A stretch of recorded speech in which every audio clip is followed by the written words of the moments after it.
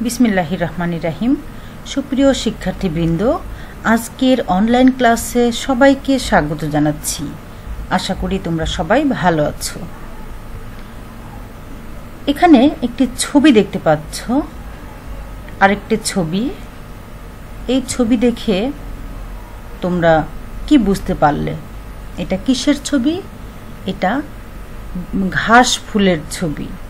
আমাদের চারপাশে তোমরা যদি দেখো চারপাশে অনেক ধরনের ঘাস ফুল আছে, যেগুলো বেড়ে ওঠে বাড়ির আশেপাশে, আনাচে কানাচে, রাস্তার ধারে। এবং এই ফুলগুলো ফুটে থাকে, পরিবেশটা সুন্দর দেখায়। এবং এই ফুলগুলো দেখতেও অনেক সুন্দর। তাহলে আমাদের আজকের পাঠ ঘাস ফুল। ঘাস ফুল এই কবিতাটি লিখেছেন জ্যোতিরিন্দ্র মৈত্র। ঘাসফুল কবিতাটিকে লিখেছেন? জ্যোতিরিন্দ্র মৈত্র। প্রথমে আমরা জ্যোতিরিন্দ্র মৈত্র সম্পর্কে জানব। জ্যোতিরিন্দ্র মৈত্র উনিশশো এগারো সালে পাবনায় জন্মগ্রহণ করেন। তিনি একজন প্রখ্যাত কবি ও গায়ক। তিনি অনেক উদ্দীপনামূলক দেশপ্রেমের গান লিখে বিখ্যাত হয়েছেন। সঙ্গীতের শিক্ষক হিসেবেও তিনি খ্যাতিমান। তিনি উনিশশো সাতাত্তর সালের ছাব্বিশে অক্টোবর মৃত্যুবরণ করেন। আজকের যে পাঠ, এই পাঠ শেষে তোমরা কি শিখবে? কবিতা শুনে মূল বিষয় বুঝতে পারবে, পাঠ্য বইয়ের ছড়া সাবলীলভাবে আবৃত্তি করতে পারবে, পাঠে ব্যবহৃত শব্দ শ্রবণযোগ্য, স্পষ্ট স্বরে ও শুদ্ধ উচ্চারণে পড়তে পারবে। বাংলাদেশের প্রাকৃতিক বৈচিত্র্য বিষয় সংশ্লিষ্ট প্রশ্নোত্তর লিখতে পারবে। এসো কিছু ছবি দেখি।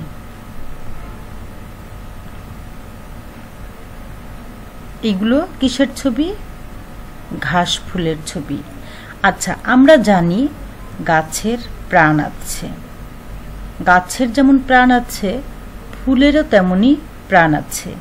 তাই এই ছোট ছোট ঘাস ফুল মানুষের কাছে কি মিনতি করেছে এই কবিতার মাধ্যমে আমরা আজ সেটাই জানব।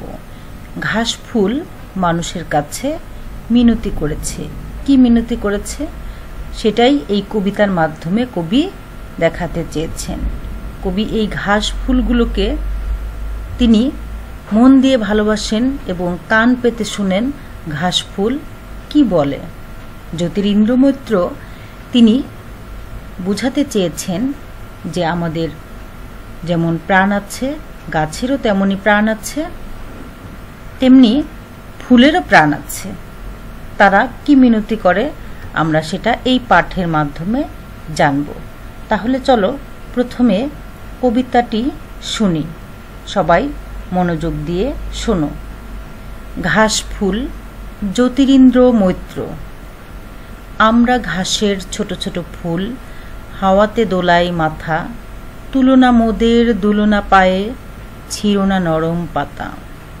শুধু দেখো আর খুশি হও মনে, সূর্যের সাথে হাসির কিরণে।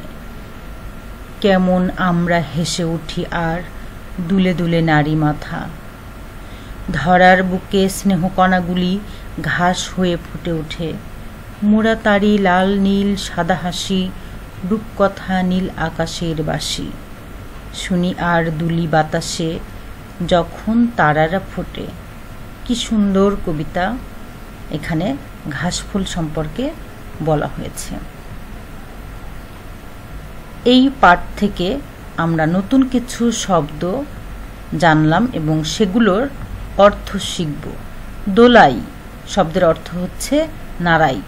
বাতাসে দোল খায় বা নাড়াচাড়া লাগলে সেটাকে বলা হয় দোলা বা দোলাই মানে হচ্ছে নাড়াই। কিরণ শব্দের অর্থ হচ্ছে কি? কিরণ শব্দের অর্থ হচ্ছে আলো। ধরা। ধরা মানে কি? ধরা মানে হচ্ছে পৃথিবী। এরপরে আরও কিছু শব্দ এবং অর্থ জানব। তারারা। তারা এখানে রাতের তারাকে বোঝানো হয়েছে আকাশের তারকারাজি, যেটা হচ্ছে তারা। ফোটে, ফুল ফোটে। এখানে ফোটে মানে হচ্ছে প্রস্ফুটিত হওয়া। স্নেহ কণা স্নেহ কণা মানে হচ্ছে আদর। আদর দেয়, এটাই হচ্ছে স্নেহ। এবার যুক্ত বর্ণ। দেখো তোমাদের পরীক্ষায়ও কিন্তু যুক্ত বর্ণ আসে। এর জন্য তোমরা এই পাঠ থেকে কি কি যুক্ত বর্ণ আছে সেটা শিখবে। জ্যোতিরিন্দ্র এই শব্দটাতে কিন্তু একটি যুক্ত বর্ণ আছে। এখানে যুক্ত বর্ণটি ন, এখানে লাল কালি দিয়ে দেওয়া আছে। ন, যুক্ত দ, যুক্ত রফলা, জ্যোতিরিন্দ্র। স্নেহ স্নেহ, এই যুক্ত বর্ণটি ভাঙলে আমরা কি কি পাই? সযুক্ত ন সযুক্ত ন। তোমরা দেখো এই ঘাস ফুল কবিতায় এই দুটা যুক্ত বর্ণ আমরা পাই, যেটা খুবই খুবই প্রয়োজনীয় তোমাদের পরীক্ষায়ও আসতে পারে। তোমরা খাতায় এই যুক্ত বর্ণ লিখে আরও একটি শব্দ তৈরি করবে এবং বাক্য তৈরি করবে। এবার ছবির সাথে কবিতা পড়ি। আমরা কবিতাটি বিশ্লেষণ করব বা ছবির সাথে সাথে পড়ব। যেমন আমরা বলেছিলাম, এই ঘাসফুল কবিতায় ঘাসফুল মিনতি করেছে। কি মিনতি করেছে? তারা বলেছে, আমরা ঘাসের ছোট ছোট ফুল, হাওয়াতে দোলাই মাথা। অর্থাৎ ঘাসফুল তারা বলতেছে মানে তাদের মিনতি এই, বা তাদের আকুতি মিনতি, তাদের মনের কথা হচ্ছে এই, আমরা ঘাসের ছোট ছোট ফুল, হাওয়াতে দোলাই মাথা।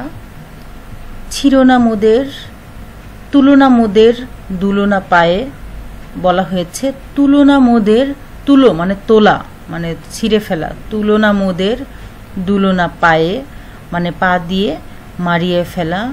ছিরোনা নরম পাতা। অর্থাৎ ঘাসফুল মিনতি করেছে যে আমরা তো ঘাসের ছোট ছোট ফুল। হাওয়াতে, বাতাসের হাওয়াতে মাথা নাড়ায়। তোমরা আমাদের ছিঁড়ে ফেলো না এবং আমাদেরকে পায়ে পিষে দিও না। আমাদের নরম পাতাগুলোও তোমরা ছিঁড়ো না। শুধু দেখো আর খুশি হও মনে। সূর্যের সাথে হাসির কিরণে।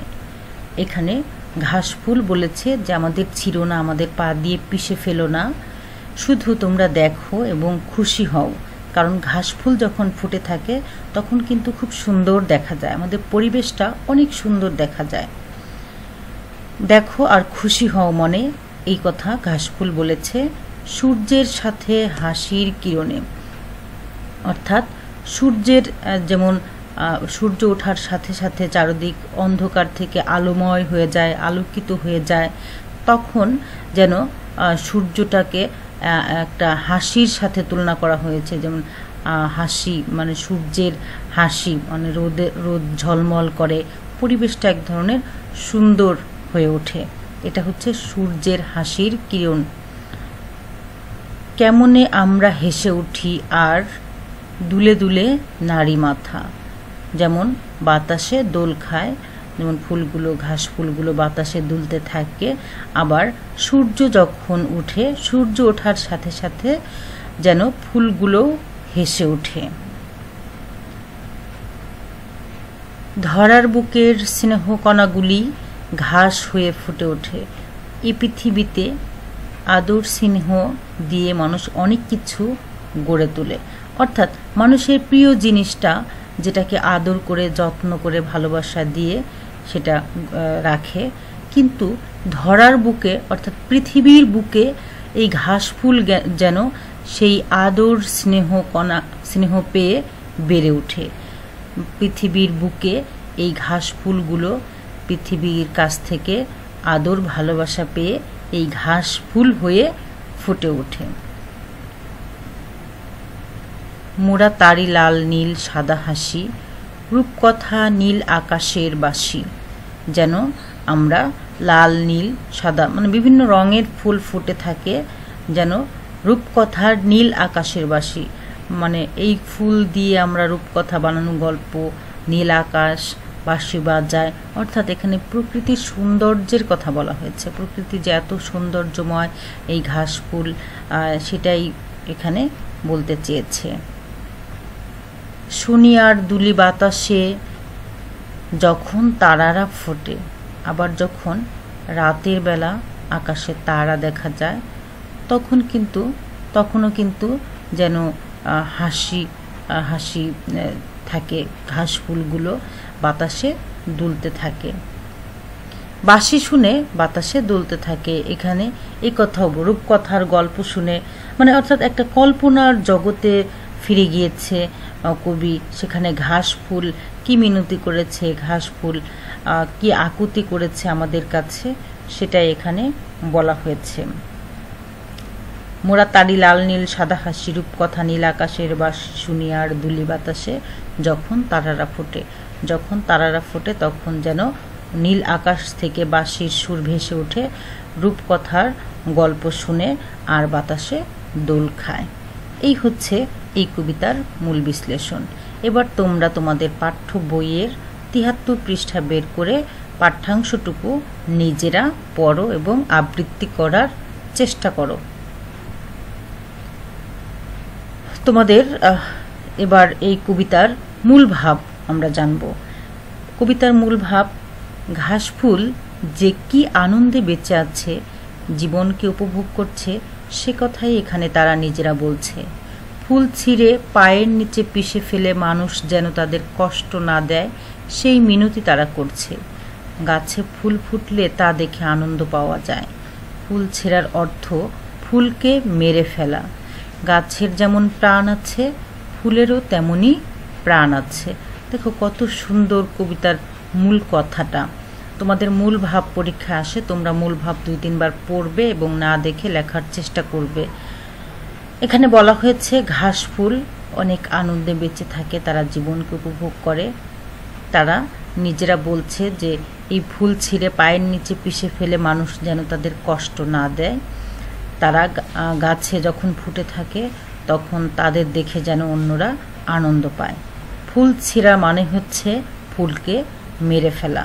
গাছের যেমন প্রাণ আছে, ফুলেরই তেমনই প্রাণ আছে, তাই আমরা ফুল ছিঁড়ব না। বেশি বেশি করে ফুলের গাছ লাগাবো।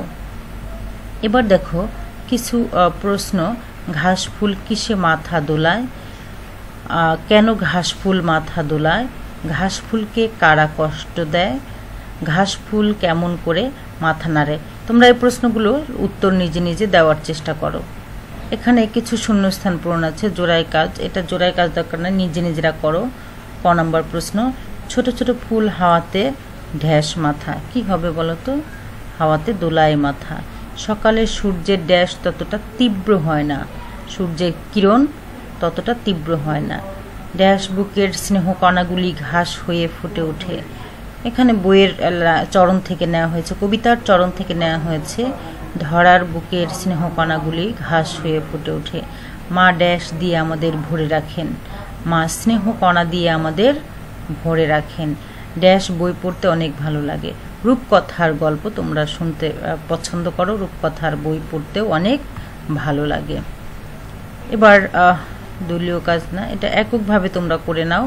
হাওয়াতে কারা মাথা দোলাচ্ছে ঘাস ফুল আমাদের কাছে কি মিনতি করছে ঘাস ফুল কার সাথে নিজেকে তুলনা করছে, ফুল মানুষকে কীভাবে আনন্দ দেয়?